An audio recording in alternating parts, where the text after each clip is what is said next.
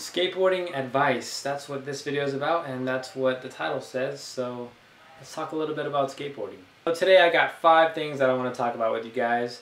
And number one is the performance plateau.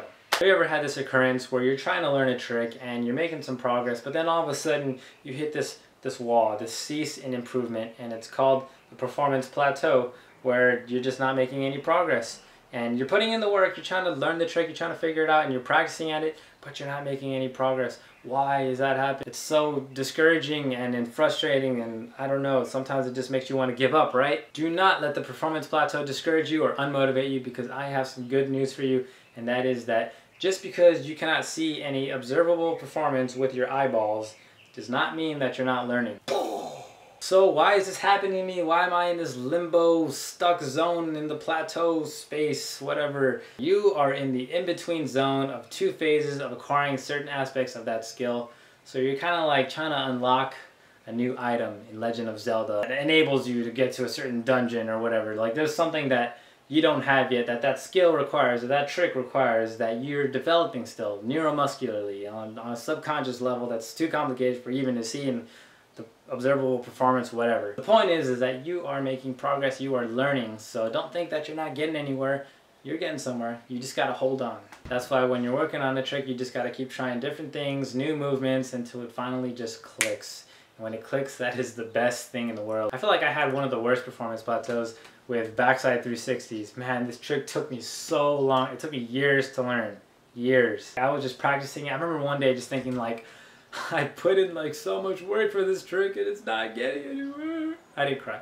But that's how I was feeling. Like, it sucks. I was just like, come on, why? It doesn't make any sense. I'm working hard at this trick and I should be seeing performance increase and more consistency, but I wasn't getting anywhere. And I was just like bummed. But I kept doing it anyways because I thought, all right, well, maybe one day I'll get it. And then one day, it was like half a year ago, it just clicked. It clicked.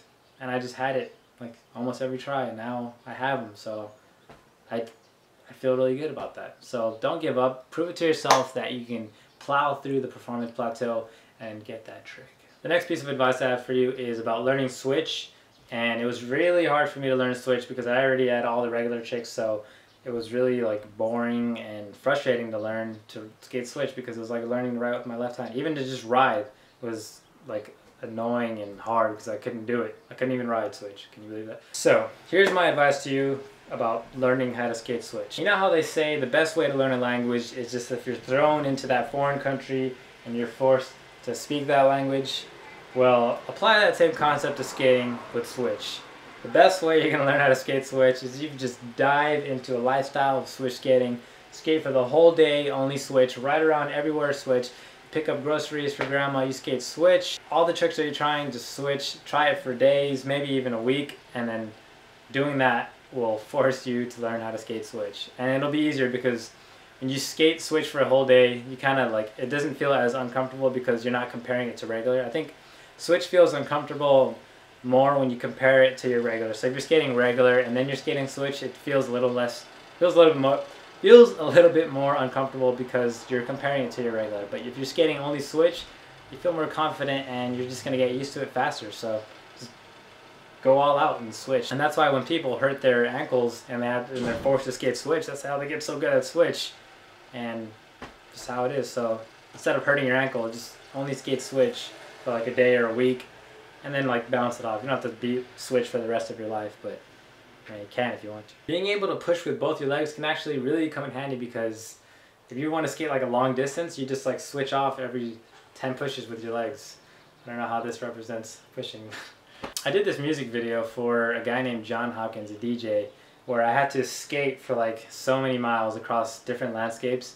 And throughout the music video, you'll see that I'm like switching stances and uh, I don't know if they ever found out or if they noticed, but yeah, came in handy. I don't know. I don't know what I would have done if I could only skate regular because my legs would be so sore. They're like, man, you've been skating for a long time. You're not tired? I'm like, nah, I'm alright. It's because I was skating switch. And one more thing, skating switch can make your shoes last twice as long. Twice as long. That's a lot of money you can save on shoes.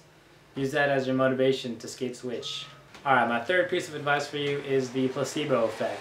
So if there's ever a day where you need maximum performance in your skateboarding, like you're skating contests or you're trying to go out and film a special trick, or you're just trying to impress Stacy's mom or something like that, what you want to do is you want to wear your favorite shirt, your favorite pants, your favorite bracelet, anything that's going to make you feel more confident about yourself because somehow, as wacky as it sounds, there's some kind of crazy psychological effect that just makes you skate way better when you just like the way you look.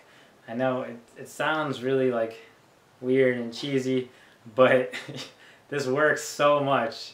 Like every time I need to skate good, like I wear my favorite stuff. And of course, I feel like the opposite effect takes place when you're wearing something you don't like. Like if I'm wearing a shirt that's too small or something, or I have some kind of shoe that's like bulky and I don't, I don't know, this just doesn't feel right. It really messes with my head and I have some crazy OCDs. Like if I'm missing a bolt in my board or like, oh, I have one weird OCD. Like when the sun is in a position where it makes my shadow like long, I feel so uncomfortable skating and like I, I just feel like tall and unbalanced and like opposite effect takes place when the shadow is really small.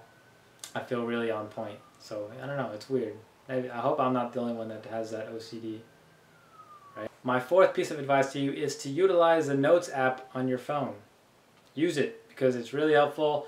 I remember I used to like sit in class and think of all these amazing tricks that I wanted to try and then when I got to the skate park I'd be like, what did I want to try again? So what I do now is I write all the tricks that I want to try in my phone. I write like techniques that I try to remember when I learned a certain trick. I write down video ideas. I write down tricks to film. Like just use your phone. Use it. My last piece of advice, I am going to tell you the secret to all double flipping tricks. Double kick flips, switch double flip, double heel flips, you name it. This applies to all the double flips. The secret to double kick flips is torque. No, not twerk torque. Torque is a measure of how much force is required to act on that object in order to rotate that object. What mostly determines this force is the lever arm or the radius from the axis of rotation, which is right in the center because it's kick flipping like this, and the force applied or the, the line of force applied. What also determines it is the angle of the force applied, but we're not going to pay attention to that. The main thing is this distance right here. Basically, if you applied force from a greater distance from the axis of rotation, you will have a greater amount of force or less amount of force is required. That's why doorknobs are not placed close to the center of the axis of rotation of the door. It's very on the edge so people can push the door or pull it without much effort. So if you want to flip your board faster, you want your force to be applied on the very edge of the board. Now this doesn't mean you have to set up your feet with your toenails hanging off, but you definitely want to aim for the edge of the board. I felt that this was the most significant thing in helping me learn how to double flip. Although there are many other things, but this is just what clicked for me. So maybe you should try it out and maybe it'll work.